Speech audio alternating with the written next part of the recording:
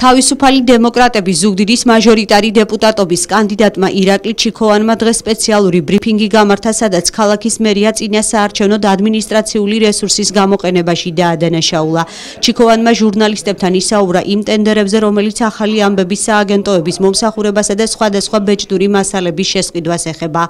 ქალაქ ზუგდიდის ფაქტობრივი ბიუჯეტი 2015 წლის განმავლობაში 21 მილიონზე ოდნავ მეტი იყო, ხოლო 2016 წელს რეალურად მან 22 მილიონი 600 000 შეადგინა, რაც ზრდის თვალსაზრისით მხოლოდ მხოლოდ 6.6%-ს მოიცავს. მაშინ როდესაც ხარჯები, რომლებიც გათვალისწინებულია საინფორმაციო კამპანიისათვის, იმ ღონისძიებებისათვის, რომ გააშუქეს და გაპიარდეს ის საკითხები, რაც რასაც აკეთებს ბჭყალებში ადგილობრივი ხელისუფლება 19000-დან 2015 წლის მონაცემებით 2016 წლისათვის გაზრდილია 62%-ით. ეს ზუსტად 326%-იანი ზრდა არის ამ მიმართულებით და ამ მუხლით ხარჯების თვალსაზრისით. მესამე კვარტალში მერია საინფორმაციო კამპანიისთვის უფრო მეც დახარჯავს, რაც იძლევა იმის საბაბს ვიფიქროთ, რომ ადმინისტრაციული რესურსი გამოყენებული იქნება წინა საარჩევნო კამპანიისთვის, განაცხადა ირაკლი ჩიქოვანმა. 4000 ლარი იყო დახარჯული, მაშინ როდესაც 15000 იყო გათვალისწინებული პირველ კვარტალში დასახარჯად და მთლიანი ხარჯების კონცენტრირება ხდება მესამე კვარტალში, რომელიც უშუალოდ უძღვის საარჩევნო პერიოდს, როგორც საარჩევნები ტარდება 8 ოქტომბერს.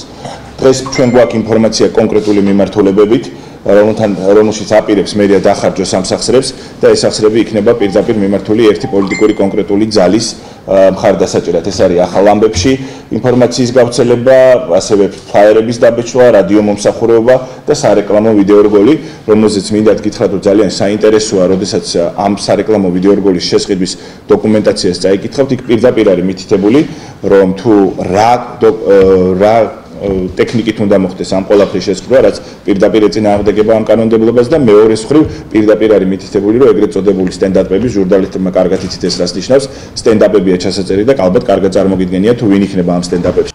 თავისუფალი დემოკრატების ბრალდებებს მერიაში აბსურდულს უწოდებენ. საბიუჯეტო საფინანსო სამსახურის უფროსი ამბობს რომ ბევრი რამ რასაც ბრალდების სახით უყენებენ მერიას მისთვის ძალიან ბუნდოვანია ეხლა ხან შევისყიდეთ გამოდის მერიის გაზეთი გამოდის რა ნიუსი. მე დიახ მერიის მიერ გაწეული საქმიანობასთან დაკავშირებით, რომ მოსახლეობას მიეწოდოს ინფორმაცია. ეს უბრალოდ მექანიკურად ამის შესყიდვა დაემთხვა მესამე კვარტალის დასაწყისს და არა იმას, რომ ეს საარჩევნო კამპანიისთვის არის გათვალისწინებული.